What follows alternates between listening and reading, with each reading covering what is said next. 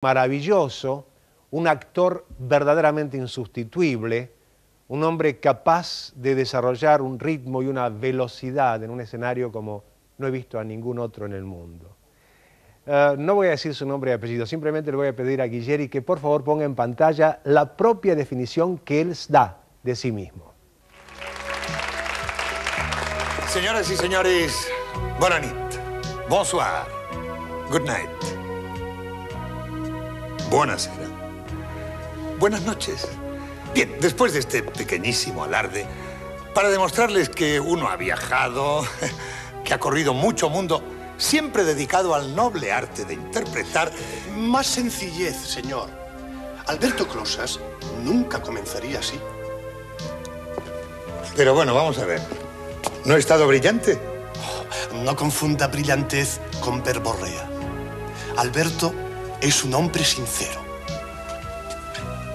Gracias. Tiene razón. Es que verán ustedes, eso de interpretarse a sí mismo es complicado y peligroso. Imagínense, yo admito que yo soy yo. Y ahí empiezan las complicaciones.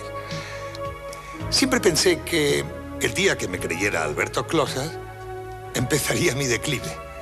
Y es que un actor son muchos y ninguno a la vez. Por eso es un oficio tan apasionante.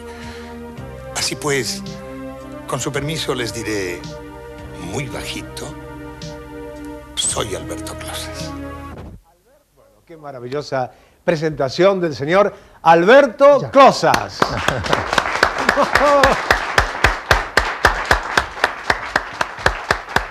¿Cómo estás?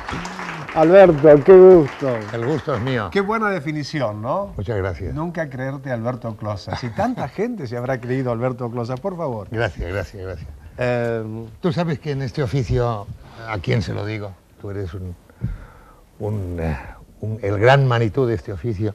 Tú sabes que en este oficio nuestro lo, lo, lo difícil es no creérselo, porque no hay que creérselo cuando sale tu retrato en un periódico, en una revista, en vez de creérselo, hay que decir, mira qué simpático que me han publicado una fotografía. Pero el que se cree que esto, dice, ese está listo, ¿no? Claro, claro, claro.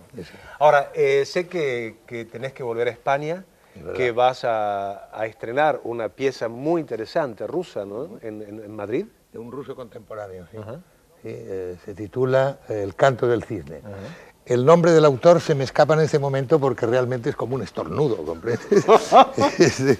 Pero es un autor contemporáneo, vamos, eh, creo que vive todavía. Eh, esta comedia está escrita allá por los años cuarenta y tantos, pero puede ocurrir en cualquier sitio del mundo y el, autor la ha situado en un eh, pseudo balneario mediterráneo o, del mar Cantábrico, pero puede ocurrir en cualquier sitio. ¿eh? No, no, no, ¿Y eso lo harás con, quién? Pues lo haré con Amparo Ribelles, que es una de las más grandes actrices de, habla castellana, con la cual tuve la dicha de hacer hace tres años, y estuvimos dos años haciéndolo, una especie de clásico ya castellano de don Jacinto Benavente, que se llamaba Rosas de Otoño, con una dirección magistral de José Luis Alonso.